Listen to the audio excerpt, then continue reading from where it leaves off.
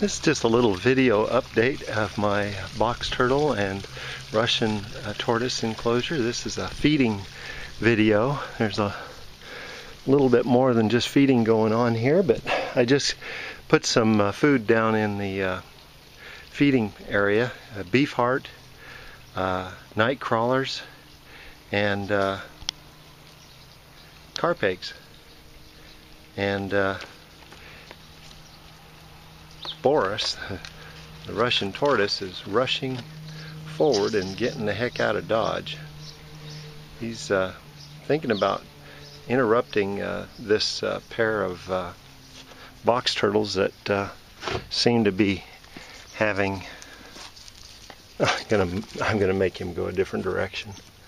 Anyway, I sort of wanted to let you guys see what was going on here. This is the female box turtle in the front here. Female in the front and the male has his feet stuck into the back side of her shell and uh, I think we're going to have some baby box turtles later on uh, this year. She's going to go out and lay one.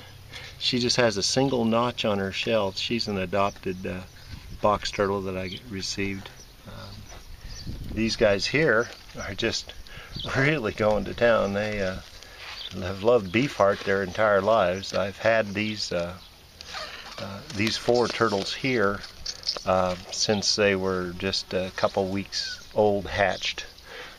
That little guy crawling away over there, he's also one of the babies. And uh, oh, I hear something. Anyway, this male box turtle flips over on his back, sticks his feet into underneath her shell where her feet normally go, and then it prevents her from uh, clamping down on his uh, sex organ. Anyway, this is more interesting to watch these uh, turtles arguing and fighting over beef heart, seeing who can eat the most, who can get the most.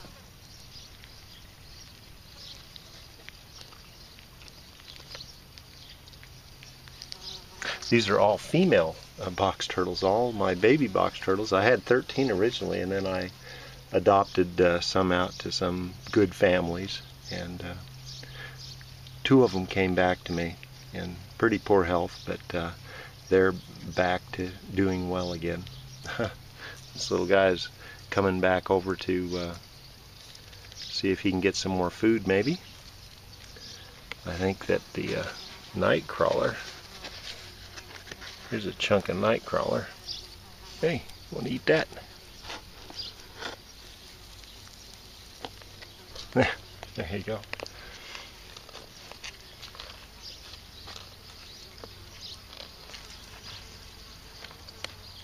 That's Ornetta. She is actually not one of my baby box turtles. She's an adult female. She's actually the mother to uh, quite a few of these uh, turtles here. I'll see if I can talk him into having a bite. You want to eat it?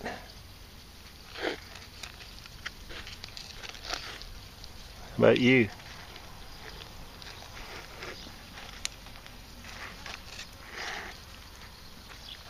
No? Hey, can you do two things at once?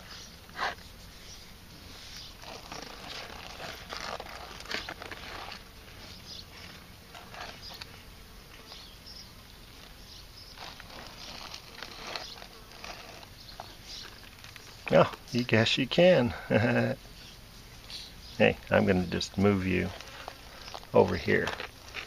There you go.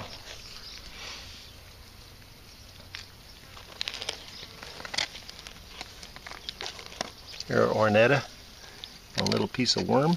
There you go. Well, well, I don't know what else I'm... Oh, look at... You are ambidextrous. By golly is because you're do two things at once. That is a strange the way he flips over on his backside. Hey, or no, Ornetta's right here. got another worm. Beef heart. That little guy is out there walking around. I've got all kinds of little places for the turtles to go and hide. That's uh, Boris, my uh, Russian tortoise, peeking out of that little hide there. These other uh, hides are uh, five gallon uh, buckets cut in half that I buried into the sloping hillside here. And uh, I have a little pool down at the bottom here that's very shallow. It has it's actually the back side of a big screen TV that went bonkers on me. And uh, I uh, recycled it and uh, I'm repurposing the, the back side of that uh, the back side of the TV and uh, it makes a perfect sloped uh, I think it's perfect sloped area for my box turtles to get a drink or to go swimming. And there's a black tube there, and it's connected to my underground sprinkler system. It has a little on-off valve there, and I have it cracked just a little bit open so that when the uh, sprinklers come on and water my weeds up there on the side of the hillside and that one big wild rose, uh, it adds fresh water to my uh, turtle enclosure pool. And uh, then over the top of the pool, I have a uh, volunteer cherry. And I'm going to bonsai this cherry so that it provides some shade for the uh, pool and uh, keeps it from getting too hot. In the summertime, uh, it could be very hot. And uh, if a turtle wants to come out of their hide to, um, oh, look at who's coming over to see me. Yes, indeed. Hi there. I'll just call him little guy for right now. What's he up to? Just squatting down here. Anyway, that's uh, one of my better ideas is to have a little bonsai cherry tree. I'm going to just keep it pruned off so that the uh, wire doesn't uh, it doesn't grow through the wire and I'm going to train it with the monofilament fish line over the top of the entire pool. This little guy, just out for a walk this morning. They really, really do better out in the uh, open. There's a, another box turtle there. Is that Ornetta? Yeah, I think that is Ornetta. Well, they ate almost all of the, uh, oh, in this area here where this oyster shell is, this is the area I'm hoping that they'll dig into. It, uh, isn't uh, real soft. Hey, you want some more food? Okay, here you go. I'll feed you a little bit right here. How about that? Huh?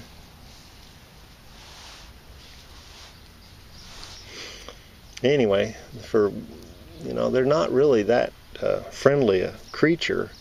Uh, I guess you can say that they respond well to food.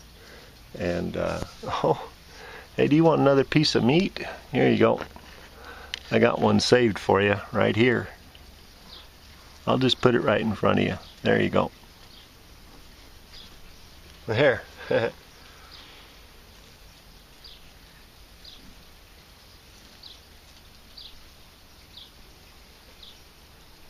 oh, come on. That's a piece of beef heart there. Well, it looks like they ate almost everything except this chunk of worm here. Here.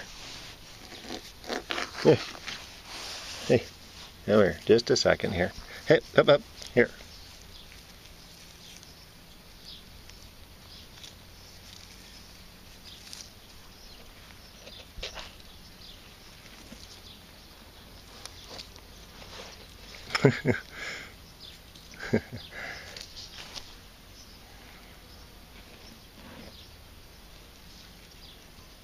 That's oyster shell.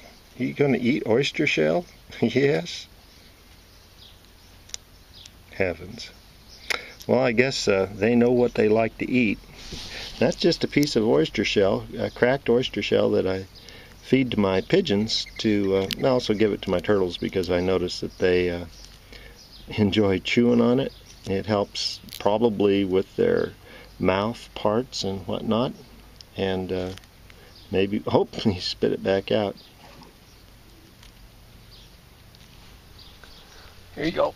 I'm going to give you one more piece of worm. How about that? There you go. You didn't get to go over there and eat. And the boy tortoise, look at that. He's just got his head sticking up. I don't know if it'll show up, but uh, he's in the shade, comfortable. She's partway in the sun, not so comfortable.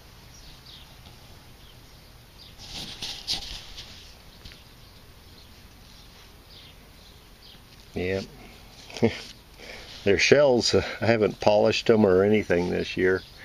Uh, they don't seem to mind having dirty shells. But uh, Boris has come back out. He likes to eat this uh, lettuce, that uh, little lettuce patch that I have growing here. He likes to come in here and he just mowed his way right through here and here. And there's volunteer sunflower. I got to pull that out eventually. And this is uh, some sort of wild carrot or something like that. I'll have to get some of those pulled out. what are you looking at, huh? You're just in between my legs there. Well, oh, look, little guy's going over for a bite of worm. Oh, no. Uh-oh, it's all gone.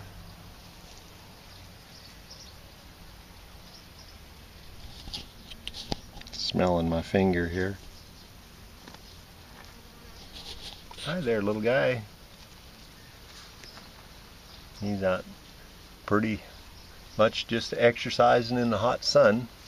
Last year, I'm pretty sure that the three, two female box turtles that were adults laid eggs in here but I could not find them anywhere. They did not lay them in my uh, chosen spot. Uh, and uh, hey, she's eating my toe. Holy mackerel. I don't like that. I think I'm going to move. This concludes this feeding video and update, video update of my uh, turtle enclosure. They hibernated outside successfully. Here it is uh, May 7 today and uh, looks like a couple of turtles are going to go down and enjoy a little swim in the pool this morning. I guess I'm not going to stop the video right now. I love to let everybody see how they uh, go in for a drink of water and maybe a little swim. I've seen some places on YouTube where uh, it shows that box turtles are very comfortable uh, swimming and being in deeper than uh, generally uh, thought of uh, deeper water than they usually are thought of needing or avoiding. They're uh, pretty amazing creatures. They're pretty agile too. But boy, sometimes they get flipped over on their backsides, and that's all she wrote. Just last night, I had one flip over upside down, and it was underneath that hide in the corner there that's made out of a, a third of a log. I don't know how she flipped over, but she was wedged underneath that board halfway under and she could not flip back right side up. Those guys are just having a race to see who can get in the shade the fastest. Yeah, with the bright sun out here, uh, box turtles don't do much more than gobble up their food and then go for shade. Now this surely concludes this 14 minute video. If you like the video, give me a thumbs up. Um, if you don't, give me a thumbs down. And if there's criticism, I love to answer questions on, uh, if you put in a, a question or a, something I can maybe help you with. I haven't had turtles that long, probably only oh, five or six years. But uh, I'm keeping them all outside now. And uh, let me know if you got any questions or comments. I'm pretty very happy with the way I have the enclosure this year. I planted white clover, just more and more information. I uh, had grass growing in here last year and it got the better of me. It just grew tall. Uh, not very many of the turtles ate it, so what I did was I um, am reseeding this area to white clover. And then of course I planted some dandelion seeds in here and then the sprinkler goes off every uh, night and I'm going to see if I can get a little uh, broadleaf uh, dandelion uh, perennial crop coming up inside of here and uh, see if I can make a little bit more natural uh, food and a naturalized enclosure for them. Grass just wasn't cutting it. It just got too tall.